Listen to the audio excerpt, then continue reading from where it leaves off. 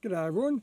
Now I've been watching this documentary on Foxtel here in Australia and it's called Coast New Zealand and Coast Australia and its host is Neil Oliver and my mother also enjoys watching him because of his Scottish accent. Good on you Neil.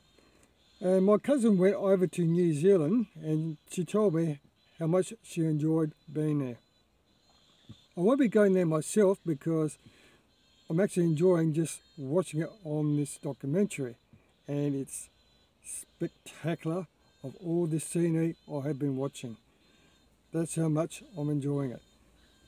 So uh, Coast Australia, I'm still watching that uh, and I'm really hoping, just hoping that maybe one day he'll do a slightly different documentary where he goes more inland of New Zealand and Australia.